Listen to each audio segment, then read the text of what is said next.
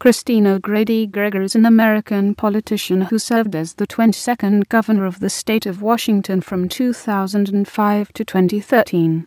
A member of the Democratic Party, Gregoire defeated Republican candidate Dino Rossi in 2004 and again in 2008.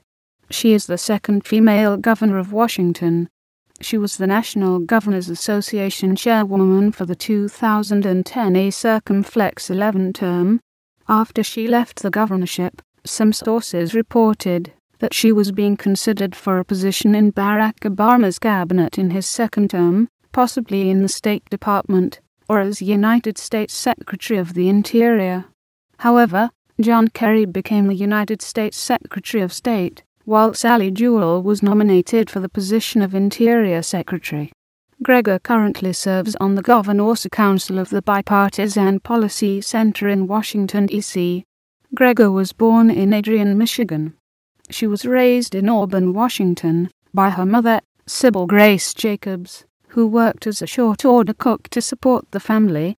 After graduating from Auburn Senior High School, she attended the University of Washington in Seattle graduating in 1969 with a Bachelor of Arts degree in Speech and Sociology.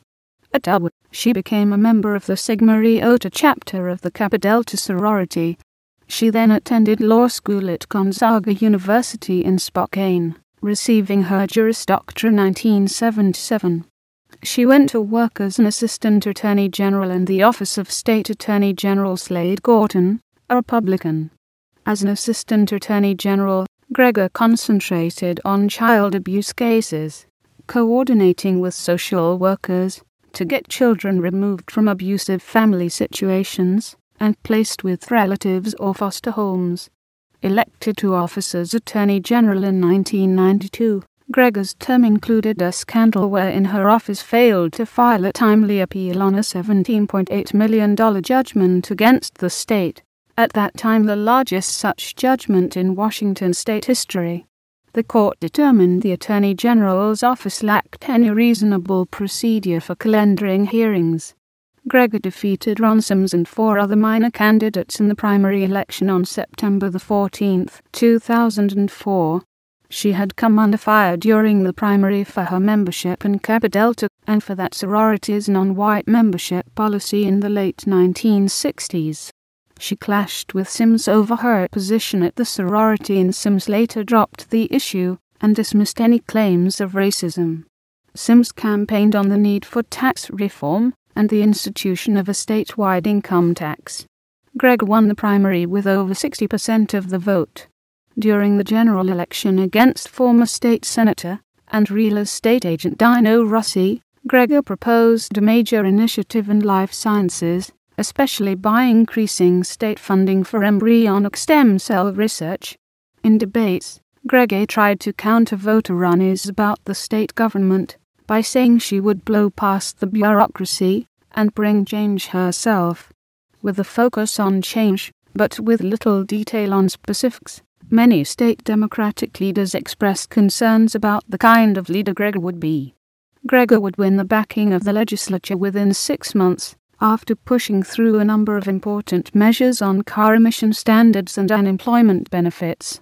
The election was held on November 2, 2004, with the initial count showing Gregoire trailing Rossi by 261 votes.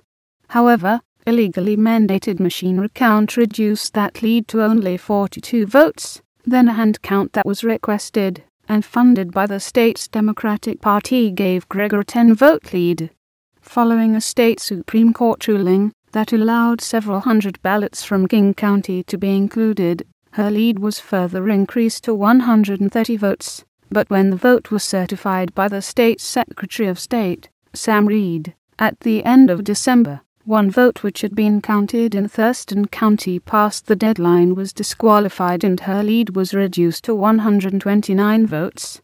Washington's Republican leadership then filed suit claiming that hundreds of votes, including votes by felons, deceased voters, and double voters, were included in the canvass. But on June 6, 2005, Judge Johnny Bridges ruled that the Republican Party did not provide enough evidence that the disputed votes were ineligible for whom they were cast to overturn the election.